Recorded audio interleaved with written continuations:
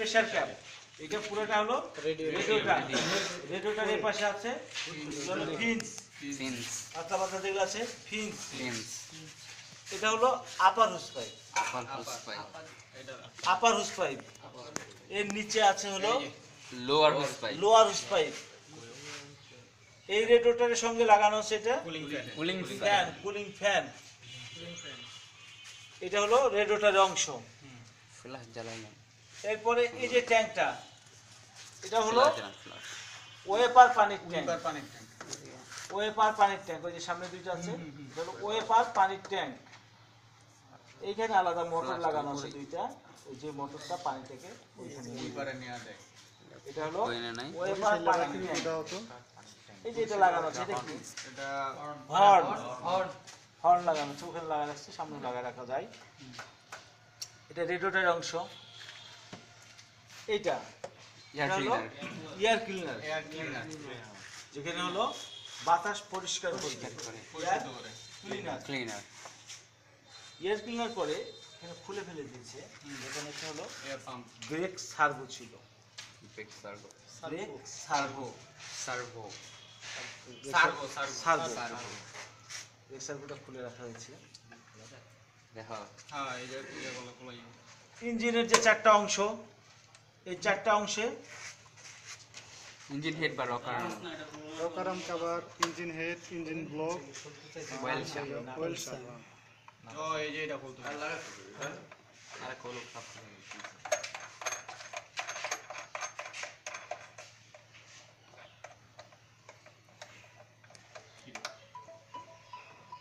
ওই যে ওটার মতো ইয়া ইয়া আছে। ফিল্টার তাহলে এটা এয়ার ফিল্টার এমন কেন এটা বড় তাই পদ হুইলারের জন্য? এই গাড়ি যদি কোনো সময় স্টার্ট না হয় তাহলে এইখানে সামান্য পরিমাণে পেট্রোল দিয়ে দিলে স্টার্ট হয়ে যেত এইখান থেকে? হ্যাঁ। সামান্য পরিমাণে পেট্রোল দিলে এটা সরাসরি তখন এই বাতাস যে যাচ্ছে পরিষ্কার করে পরিষ্কার করে বাতাসের সঙ্গে ফুয়েল যাচ্ছে এখানে দিলে সরাসরি হেডে পেট্রোল কনভার্সন নিবে। অসম্ভব। ডিজেল কেন? পেট্রোলের গাড়ি পেট্রোল দিতে পেট্রোল হয়। ডিজেল এই গাবি হইল। না ভাই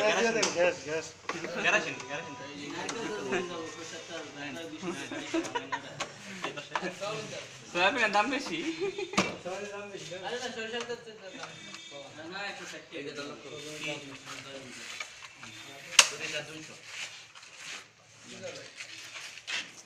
এই যে এই পাশে আছে এটা কি? এটা হলো ডিস্ট্রিবিউটর ডিস্ট্রিবিউটর এই যে তারগুলো এটা কি? এটা হলো হাই টেনশন লিড এই হাই টেনশন লিডের এই যে হাই টেনশন লিড এর ভিতরে আছে স্পার্ক প্লাগ প্লাগ এই যে ছোট্ট একটা জিনিস এটা কি? আর ইগনিশন কয়েল। এটা হলো ইগনিশন কয়েল। এই জায়গায় থাকবে ব্যাটারি। ব্যাটারি। এখানে ব্যাটারিটাও খুলে রাখছে। এটা থাকবে ব্যাটারি। এই গাড়িটাও গ্যাসের জন্য গ্যাসের জন্য গ্যাস করা হয়েছে এটা। আর এটা হলো গ্যাসের গ্যাস পাম্প এরকম ওটা একটা পাম্প গ্যাসের জন্য শুধু গ্যাস এখন এই যে আমি বলি সোজা কথা এই যে ব্যাটারি। ব্যাটারি কত ভোল্টের ব্যাটারি থাকবে? বারো ভোল্ট। বারো ভোল্টের ব্যাটারি থাকবে। ব্যাটারির ভিতরে কি থাকবে? অ্যাসিড থাকবে অ্যাসিড পানি। থাকবে। অ্যাসিড পানি। যেমন এখানে বলা হচ্ছে ব্যাটারি কাজ কি? ব্যাটারি ইঞ্জিন চালানোর না। ব্যাটারির কাজ কি? ব্যাটারির কাজ হলো বিদ্যুৎ ধরে রাখা। এই ডায়নামো থেকে যে বিদ্যুৎ আসছে এই বিদ্যুৎটা খালি ধরে রাখবে। এরপরে ব্যাটারির কি কি কাজ করে? তখন হলো ব্যাটারি। ইঞ্জিন চালাতে সাহায্য করে। তারপরে বিভিন্ন ধরনের লাইট জ্বালাতে সাহায্য করে। বিভিন্ন ধরনের লাইট জ্বালাতে সাহায্য করে। এক কথা শেষ মানে সব লাইট জ্বালায় ও। ও ছাড়া লাইট জ্বলবে না। সব লাইট জ্বালাতে প্রথম কাজ হলো ইঞ্জিন চালু করতে সাহায্য করবে। দ্বিতীয়ত হলো সব লাইট সকল লাইট জ্বালাতে সাহায্য করে। এটা হলো ব্যাটারি কাজ এই ব্যাটারি থেকে প্রথম অবস্থায় একটা লাইন যায় হলো, যেখানে হলো engine switch ignition switch on হবে। ওইখানে যাবে বিদ্যুৎটা। ওইখান থেকে বিদ্যুৎ ঘুরে আসবে হলো ইগনিশন কয়েলে ইগনিশন কয়েলের কাজ হচ্ছে লো ভোল্টেজ বিদ্যুৎকে হাই ভোল্টেজে পরিণত করা। এটা প্রশ্ন আসবে ইগনিশন কয়েলের কাজ কি? ভোল্টেজ হাই ভোল্টেজে রূপান্তর করা। ব্যাটারি কিন্তু দুই তিনটা কাজ। ব্যাটারি করে? বিদ্যুৎকে ধরে রাখে। আবার ব্যাটারি কি কি কাজ করে? সকল লাইট চালাতে সাহায্য করে, চালু করতে সাহায্য করে। চালাতে চালু করতে সাহায্য করে। ব্যাটারির অ্যাসিড লেভেল কমে গেলে কি দিতে হবে? ডিস্টিল ওয়াটার বিশুদ্ধ ডিস্টিল পানি ওয়াটার, বিশুদ্ধ পানি এখানে তিনটা প্রশ্ন। ওইখানে ইগনিশন কয়েল গেল। ইগনিশন কয়েল ছাড়া ইগনিশন সিস্টেম ছাড়া ইঞ্জিন অন হবে না কিন্তু। তারপর আসি ইগনিশন কয়েল ইগনিশন কয়েল কাজ হলো ওটা তো ইগনিশন সুইচ না। এরপর আসবে ignition coil ignition coil coil থেকে যাব ইগনিশন কয়েলের কাজ হচ্ছে লো ভোল্টেজ লো ভোল্টেজকে হাই ভোল্টেজে পরিণত করা। পরিণত করা। এই হলো হাই টেনশন লিড লিড তারপরে যে ডিস্ট্রিবিউটর হাই টেনশন লিড বলা হচ্ছে এটা। হাই টেনশন তারও হতে পারে লিড তারের মাধ্যমে যাচ্ছে লিড মানে তার। তার। এটা হাই টেনশন মানে হাই ভোল্টেজ যাচ্ছে তো এই জন্য এটা হাই টেনশন লিড বলা হচ্ছে। এই হাই টেনশন লিড কোথায় দিচ্ছে? ডিস্ট্রিবিউটর ডিস্ট্রিবিউটরে ডিস্ট্রিবিউটরের কাজ কি? যাবি ডিস্ট্রিবিউশন করা। মানে ডিস্ট্রিবিউশন করা। ডিস্ট্রিবিউশন কাজ হলো সবার কাছে পরিমাণ মতো পৌঁছে দেয় কার মাধ্যমে high tension lead high high tension high tension lead কোথায় আসতেছে? স্পার প্লাগে আসতেছে। প্লাগের কাজ কি? স্পার্ক তৈরি করা। স্পার্ক প্লাগ কোথায় থাকে? সিলিন্ডার হেডে সিলিন্ডার হেডে সিলিন্ডার হেডে সিলিন্ডার প্লাগ থাকে। এটা হলো স্পার্ক প্লাগের কাজ। দেখো অনেক কাজ বাড়াচ্ছি কিন্তু এগুলো সব প্রশ্ন। জি। তাহলে ignition coil distributor high tension lead spark plug চলে গেল। Spark plug. ইঞ্জিনের কয়টা অংশ? তিনটা তিনটা। অংশ। কি কি? ইঞ্জিন হেড ইঞ্জিন ব্লক আর ইয়া। এই উপরে একটা অংশ। Rocker arm rocker arm cover engine head engine block oil sump না স্যার? ইঞ্জিন অয়েল কোথায় দিতে হয়?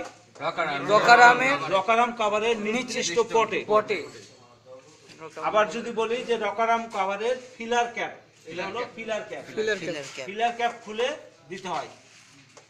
পরে কোথায় জমা হয়? অয়েল সাম্পে জমা হয়। এই লুব অয়েল ইঞ্জিনের কি? রক্ত। লুব অয়েল ইঞ্জিনের ব্লাড বা প্রাণ। প্রাণও বলা যেতে পারে। হ্যাঁ লুব অয়েল ছাড়া কি ইঞ্জিন চলবে? না। চলবে না। এটাও একটা প্রশ্ন। লুব অয়েল ছাড়া কি ইঞ্জিন চলে? চলে না। লুব অয়েল না থাকলে ইঞ্জিনে কি হবে? গরম অতিরিক্ত গরম হবে। আর কি হবে? যন্ত্রাংশ ক্ষয় হবে তারপরে কি হবে? ইঞ্জিন বন্ধ হয়ে যাবে লাস্ট কথা হলো ইঞ্জিন প্রথম অবস্থায় গরম হবে।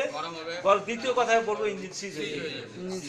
যদি রেডিওটারে পানি না থাকে তাহলে ইঞ্জিন গরম হবে। ইঞ্জিন গরম হওয়ার পরে কি হবে? ইঞ্জিন ইঞ্জিনের যে হলো ইয়াগুলো আছে লুব অয়েলগুলো আছে এই লুব অয়েল শেষ হয়ে যাবে। প্রথম অবস্থায় রেডের পানি না থাকলে ইঞ্জিন গরম হবে। ইঞ্জিন গরম হয়ে লুব অয়েলগুলো শেষ হবে। লুব অয়েল শেষে যন্ত্রাংশগুলো গরম হয়ে যাবে ক্ষয় হবে। এই দুটাই কাজ। রেডিওটারে যদি পানিও না থাকে আর যদি লুব অয়েল না থাকে। তাইলে হবে। তাহলে ইঞ্জিনের অংশ গেল। ইঞ্জিনের আবার বিভিন্ন অংশ আছে। সেগুলো আমরা জানি চলমান অংশ এবং স্থির অংশ। স্থির অংশ। এটা আলাদা সাবজেক্ট এরপরে এই যে এই যে এই জায়গাটা দেখা যাচ্ছে। এখানে একটা টাইমিং বেল্ট টাইমিং বেল কাকে টাইমিং করে? ক্যাম শেপ আর cam shape cam shape shape আর আর ক্যাম শেপ আর একটা ক্র্যাম শেপ এই দুটো সমন্বয় ঘুরায় ক্যাম শেপ ক্যাম শেপ ওই পাশে কি আছে ইঞ্জিনের পুলি ওই পাশে আছে ফ্লাই হুইল ওই পাশে আছে ফ্লাই হুইল এই পাশে আছে পুলি। পুলি। ওই পাশে ফ্লাই হুইল এই পাশে হলো পুলি। পুলি। পুলি কয়টা? মেইন পুলি মেইন পুলি ওয়াটার এই পাম্প ডায়নামো পুলি চারটা পাঁচটা পুলি নাই। এই গাড়িতে তিনটাই pulley main pulley main water pump water pulley, pump water pump pulley হ্যাঁ। এই যেমন ওয়াটার পাম্প পুলির সাথে কুলিং ফ্যান লাগানো আছে। এটা ওয়াটার পাম্প পুলি আর মেন পুলি হলো ক্র্যাঙ্কশ্যাফটের সাথে আছে। ক্যাম সাথে আছে। সবাইকে ঘোরাচ্ছে মেন পুলি আর একটা পুলি কি? অল্টারনেটর বা পুলি ব্যাটারি চার্জ করে। এটা হলো ব্যাটারি চার্জ করবে। ব্যাটারি চার্জ এটা হলো এই সামনের অংশ। এখন পিছনের অংশে যদি যাই পিছনের অংশে থাকবে ফ্লাই ফ্লাই হুইলের পরে থাকবে হলো ক্লাস চেন ফ্লাই হুইলের পরে থাকবে হলো প্লাস তারপরে থাকবে প্রেসার প্লেট প্রেসার এই মাঝখানে থাকে হলো প্লাস ক্লাচ ক্লাস তারপরে গিয়ার বক্স এই পাশে হলো flywheel clutch plate pressure plate এই দুটো সমন্বয় হয়। তারপরে থাকবে হলো gear box gear box pressure plate pressure প্লেটের পরে গিয়ার ক্লাচ প্লেট প্রেসার প্লেটের পরে গিয়ার বক্স ব্রেক প্রেসার ওইখানে আবার একটা হলো ইয়ে আছে। লিভার লিভার তো আছে ওই লিভারের মাথায় হলো একটা হলো ইয়া কি বলা যাবে তোমার হলো যে ঘোরে ইয়া লাগানো আছে একটা। বিয়ারিং লাগানো আছে, ওটা হলো রিলিজ বিয়ারিং যেটাকে হলো এই প্রেশার প্লেট এবং হলো ক্লাস প্লেটকে হলো রিলিজ করে। ওই আপ ডাউন করে, কিন্তু ওই যে পাশে লাগানো। পাশে লাগানো রিলিজ বিয়ারিং এই রিলিজ বিয়ারিং এর পরে, তারপরে থাকবে তোমার, কি থাকে? ইউনিভার্সাল জয়েন্ট অবশ্যই থাকবে। ইউনিভার্সাল জয়েন্ট না থাকলে হবে। ইউনিভার্সাল জয়েন্ট থাকবে তারপরে প্রপেলার শেপ আছে তারপর আবার ওই মাথায় ইউনিভার্সাল জয়েন্ট আছে তারপরে হলো ডিফারেন্সিয়াল তুমি দেখো গিয়ার বক্সের পরে এখানে ক্লাসের মধ্যে তো থাকবে না। এরপরে তো গিয়ার বক্স থাকবে গিয়ার বক্সের পরে অংশ। লাস্টের অংশগুলো। তাহলে মোটামুটি এটা চিনা গেল এখন। কে বলতে পারবে? দু চার দশটার নাম এর মধ্যে থেকে। এই যে এটা- তো সবাই চিনো। জি স্যার তাহলে ডিপিস্টিক তো সবাই চিনে। এটাও এটাও নাম একটা তারপর হচ্ছে স্যার এই যে রেডিয়েটর হর্ন রেডিয়েটর কে বলতে পারে? এক মনে থেকে এটা কি? সাইড হচ্ছে স্পেয়ার ওয়াটার ট্যাঙ্ক এটা এটা হচ্ছে radiator radiator cap radiator cap pressure cap pressure cap pressure cap এটা রেডিয়েটর এই পাশটা ফিক্স এটা কুলিং ফ্যান ফ্যান আবার hose upper hose pipe upper hose pipe এটা ডিপিস্টিক ডিপিস্টিক লিপস্টিক এটা হলো air air filter air air filter air cleaner sorry air cleaner air cleaner এটা horn horn এটা এটা উইপার ওয়াটার পানি tank wiper পানি water tank wiper পানির ট্যাঙ্ক উইপার পানি ট্যাঙ্ক এটা হচ্ছে ইগনিশন কয়েল আর এটা হচ্ছে high tension lead high tension high high tension lead distributor spark plug spark plug তারপরে ইঞ্জিনের চারটা অংশ। Cover cover engine engine head head engine block তারপর হচ্ছে ওয়েলসাম। এটার ভিতরে কি আছে? টাইমিং বেল কার কার সাথে আছে? মেন পুলি আর ওয়াটার পাম্প পুলির সাথে। ডায়নামো পুলির সাথে। এখানে ছিল একটা ব্যাটারি ব্যাটারি নাই। ব্যাটারি নাই। বেচে খাইলেছে এই এখন এই যতগুলো ইঞ্জিনের ভিতরে নাম আছে বাইরে নাম আছে কালকে এটার ভিতরে এবং বাইরে নাম লিখতে হবে।